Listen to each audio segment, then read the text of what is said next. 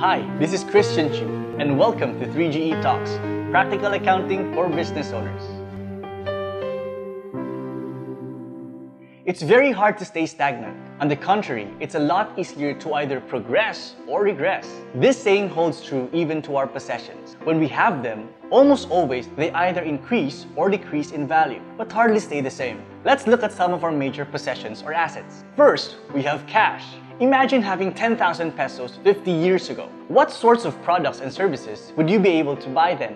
Compare having 10,000 now. What will you be able to buy? Definitely, you could buy a lot more 50 years ago than today. That's because its purchasing power has decreased, which was driven by a constant price inflation. Second, we have our receivables. In our previous video, we explained how receivables are risky. The longer they stay uncollected, the higher their chances of becoming bad debts, thus potentially losing value. Third, we have our investments and marketable securities. These are assets invested in other people's businesses or stocks. Basically, their values fluctuate based on how those businesses actually perform or how their respective stocks are being traded in the market. Fourth, we have our inventories. They can be raw materials, materials being manufactured, finished products, and merchandise inventories.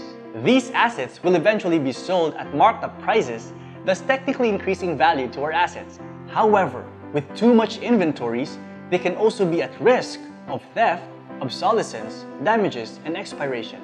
Fifth and the last, we have fixed assets. These are those land, buildings, furniture and fixtures, equipment, and other assets we use to allow us to perform operations of our businesses. These possessions, except land, as they are being utilized, deteriorate in value due to wear and tear. Also, these equipment, when movable, are also subject to misplacement and theft. In conclusion, we have to assess whether the assets we keep on possessing can bring in more value in the future or on the contrary, lose value. Are we better off lending our cash to other people, gaining interest, but risking becoming uncollectible? Are we better off buying or renting a new equipment so we can provide more business values? Do we need to buy more inventory? What's the optimum equivalent amount for each asset type we can handle so we get the maximum increase in value. As business owners, that's something we always have to evaluate. Do we possess the right asset that can give us the best return? And finally, increasing our equity. That's something for you to think about. So until next week, continue planting because harvest will soon come.